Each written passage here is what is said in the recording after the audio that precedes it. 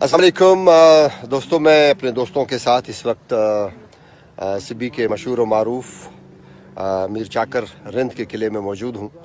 اور میں اگر پورے قلعے کی آپ کو وزٹ کرواؤں، وہ میں اس طرح سے پوری قلعے کی وزٹ نہیں کروا سکتا، لیکن یقیناً آج کل بہت ہی آسان ہے۔ اگر آپ گوگل کریں گے تو آپ میر چاکر رند کے قلعے کے بارے میں آپ کو پوری ایک آپ کے پاس سامنے پوری اس کی انفارمیشن آ جائے گی۔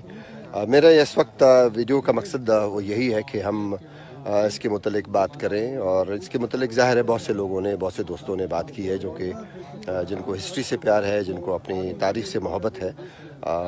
جہاں ہم نے بہت سی جگہوں پہ جا کے دیکھا ہے کہ وہاں پہ قلعوں کے اوپر اس کی اس کی مرمت کے لیے بہت سارا کام ہو رہا ہے، اس کو ریسٹور کرنے کے لیے بہت سارا کام ہو رہا ہے۔ یہ تو سارا ایک مٹی کا بنا ہوا قلعہ ہے، اس کے اوپر میرا نہیں خیال کہ بہت زیادہ اس کے اوپر کوئی خرچے، اخراجات آ سکتے ہیں۔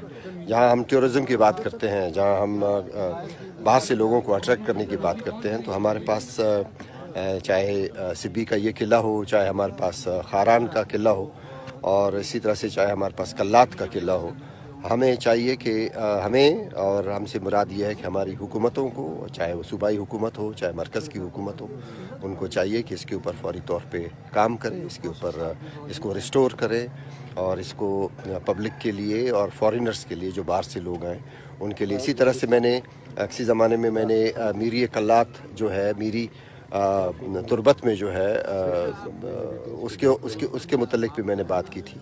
تو ہمارا مقصد تو بات کرنے سے یہی ہے کہ ہم ایک، لوگوں کو ایک ریکویسٹ کریں اور ان سے ان سے حکومت کو یہ ریکویسٹ کریں کہ اس کی طرف ذرا پلیز توجہ دیں۔ اور یہ ہماری، ہمارے اجداد کی نشانی ہے، یہ ہمارا ایک ایک ہمارا ہیریٹیج ہے۔ یہ ہم، نہ صرف ہمارے لیے، بلکہ ہماری جو آئندہ آنے والی نسلیں ہیں، ان کے لیے۔ please save our heritage.